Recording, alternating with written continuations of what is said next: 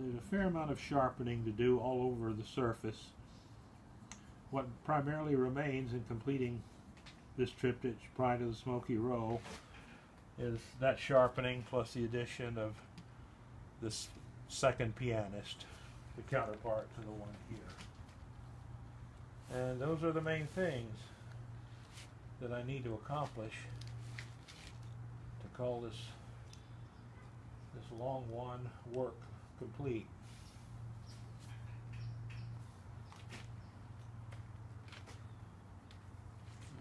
Some use of black and indigo blue will be applied to create the, sh the sharpening and the the heightened contrast in this Greek revival structure on the New Orleans wing.